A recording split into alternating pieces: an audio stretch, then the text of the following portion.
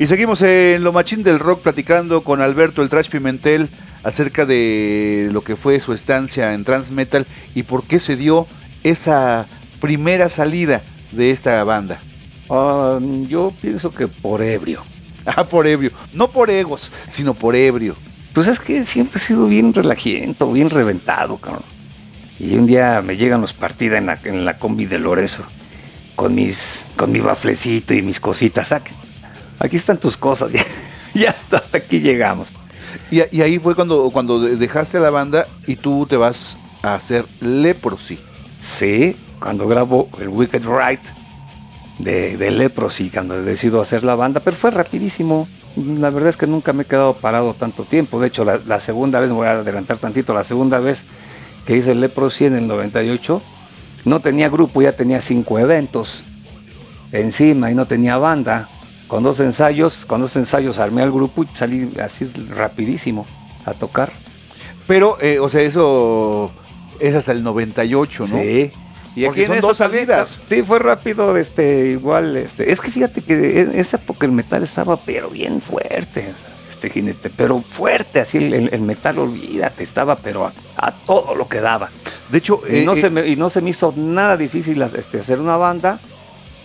Le ponemos Leprosy en, en honor al grupo Dead. Ajá. El segundo disco del Leprosy, del de Dead se llama Leprosy y le ponemos Leprosy porque este pues, soy soy fan de de Dead tuve la fortuna de tocar las dos veces que vino Dead una con Leprosy una con Transmetal y la otra con Leprosy tuve la fortuna de tocar las dos veces con Dead y por eso pusiste ese nombre, en homenaje y tributo a esta banda. ajá y este y me va muy bien sacó el disco de, de Wicked Ride ahorita el Wicked Ride está en lo volvieron a sacar en esa época salió en acetato no porque fuera moda porque era lo que había Los trans sacan este, con el pechuga zona muerta y yo en acetato yo, yo salgo con Wicked Ride en acetato.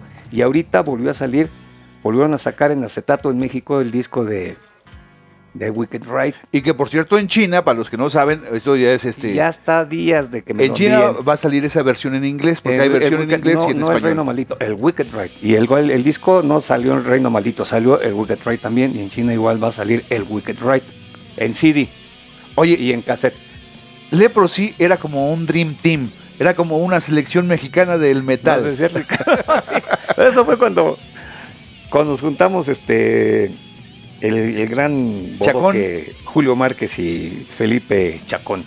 Y Mario Amador que nos dice Ricardo Bravo es- "Ay, hiciste la selección mexicana puro cotorreo ¿no?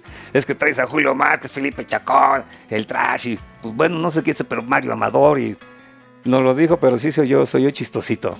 Oye, uno de y- sus programas de radio. Me me tocó eh, ya en la década de los 90, por 97, 98, que habías regresado a Transmetal y entonces estaban presentando eh, un disco en aquel momento que era El México Bárbaro, si no me equivoco. Sí, nos dieron, sí, eh, ¿te refieres a la premiación? Ajá. Nos dieron la premiación en el, en el Metropolitan, Sold. Out, la premiación en el mejor grupo de metal. Este, eh, era la época ya, pero del México bárbaro. Y Que es un muy buen disco, ¿no? Sí, como no, ese disco también, este, ya ves que todo el mundo me agarró carrilla de que, de que lo produjo Scott Burns y los coros de, Glenn Benton del, infierno de Dante, pues ese también lo produjo Scott Burns y los coros los hizo el cantante Cannibal Corpse. Inclusive nos llevaron, nos llevaron a su cuarto de ensayo, los vimos ensayar en su cuarto de ensayo, con, tenían sus pesas, sus bancos, un montón de mancuernas. Y imagínate estar así a unos así como estamos nosotros, estar viendo este de tocar a Cannibal Corpse, a todo el grupo completito. No, Viéndolos ahí ensayar en su cuartote de ensayo así impresionante y con un montón de no, no, increíble, increíble, eso lo sabe mucha gente, pero ni lo digo porque todo el mundo me agarra de, de- de- carrilla, bola de pinches envidiosos culeros. No se la ya creen. Me hicieron encabronar. Sí, no se la creen, parece, parece que estoy inventando las cosas, pero así son las cosas. Bueno, haz- haz- a- di que me acordé porque todo se me olvida. Oye, ahorita llegó un, me llegó un chispazo y me acabo de acordar, si no, ni te la estaría platicando. Oye, y muchos festivales eh, han tenido la suerte de poder escuchar tu voz porque eres una de las voces fundamentales o ícono del metal en nuestro país. Has estado en varios festivales. Sí, sí, como no, en el Extreme, en Chicago, en el Extreme Metal Fest, en Chicago de tres días, fuimos uno de los grupos este, estelares. Y también pues tuve la fortuna de, de tocar con Creator, el, primer evento de Slayer en el 94 en el, en el balneario de Patitlán, el primer evento de Slayer, también abrimos, le abrimos a Slayer, eh, de Rey, Sepultura, en el, el, primer evento de Sepultura. Me gustó porque se presentó Sepultura original con Transmetal original y fue icónico así.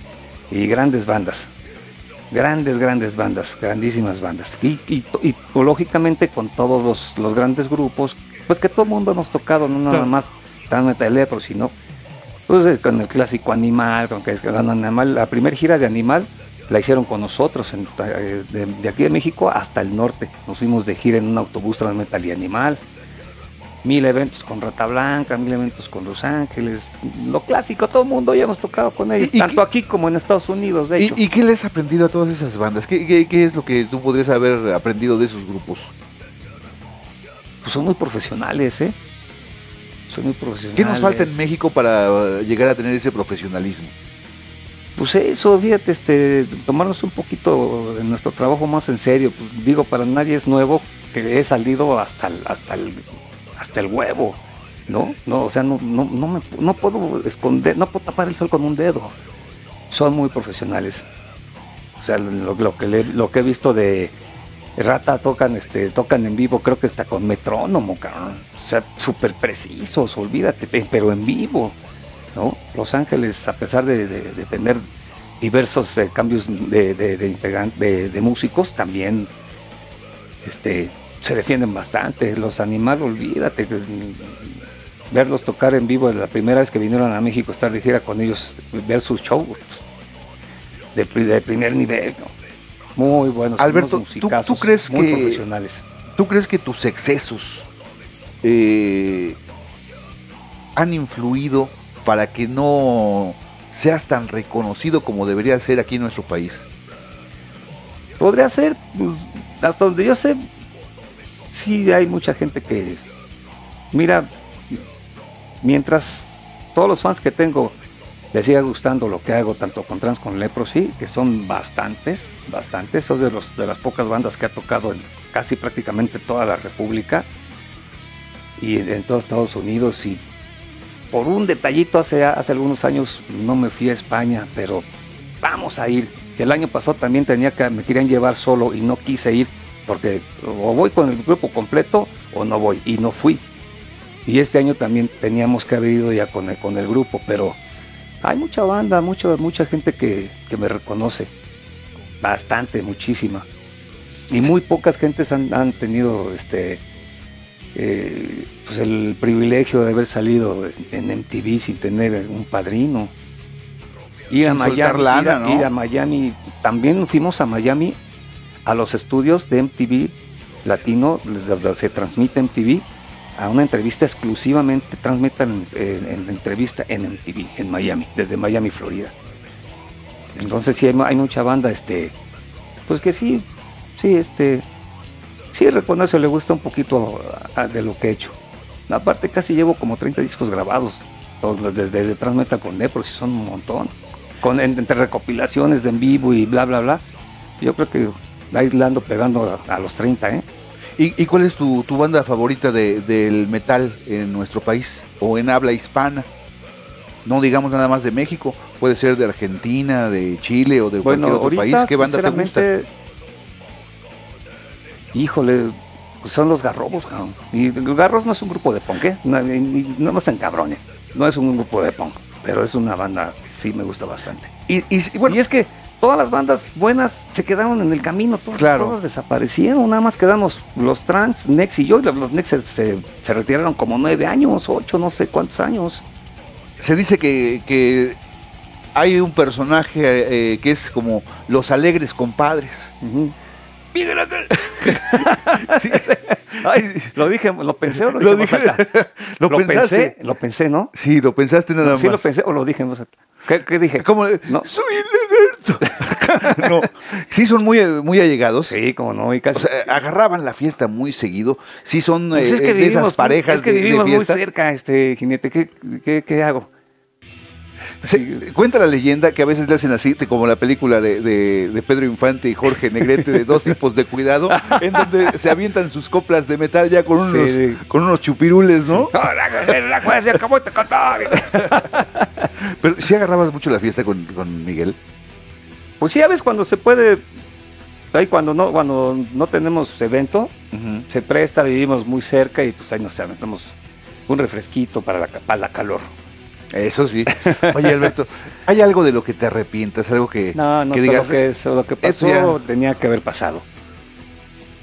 Y la, la gente que te ha criticado, o sea, ha habido críticas a- hacia el metal mexicano, ¿no? De gente que, que dice, es que el metal es en inglés, el metal debe ser de esta No, forma. no, no, no, y nada critica eh, eh, lo que se hace en nuestro país. Si, no, ¿Qué les o dices? sea, mm, si fuera eso, eh, mira, los discos que se han vendido tanto con Trans con Leprosy es una cantidad bastante, bastante considerable. No se hubiera vendido.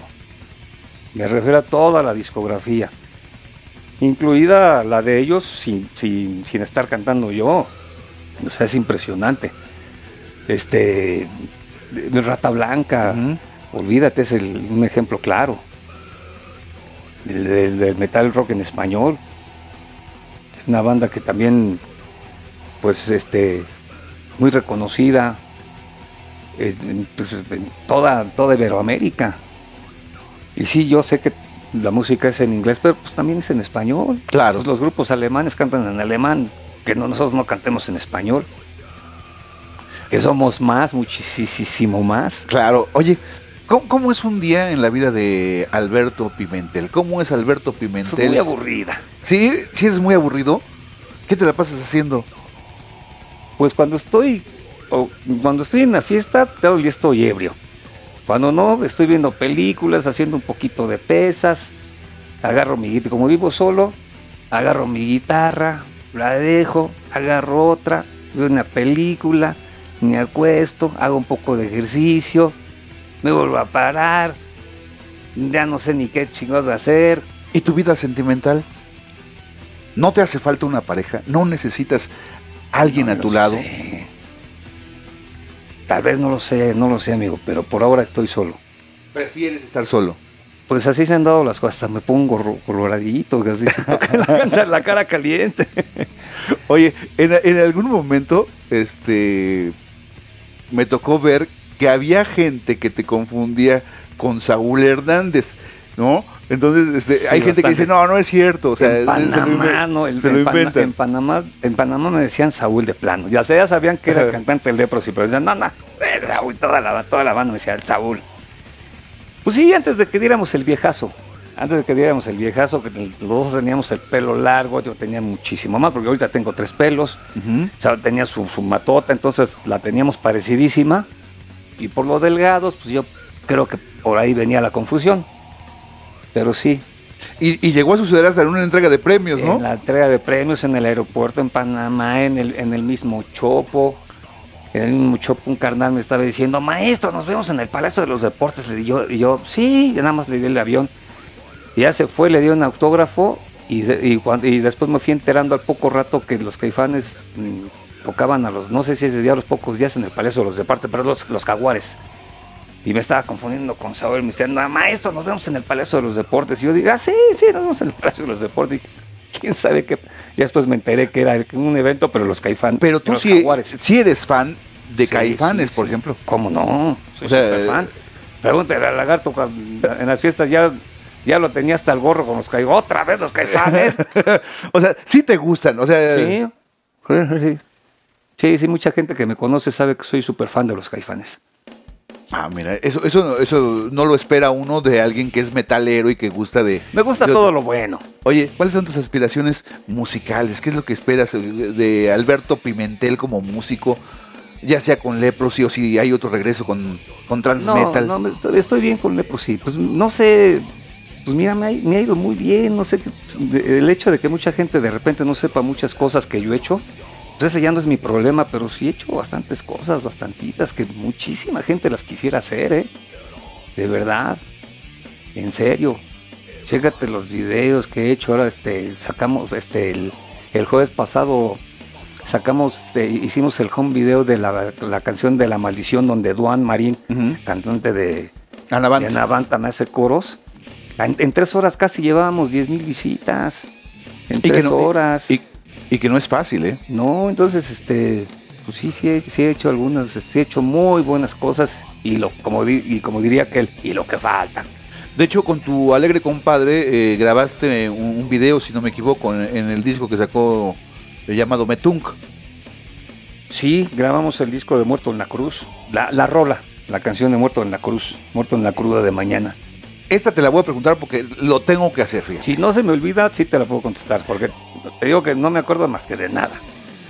O sea, cuando subes al escenario, ¿le pones algún procesador? Porque tu voz, o sea, ahorita la estamos escuchando tal cual.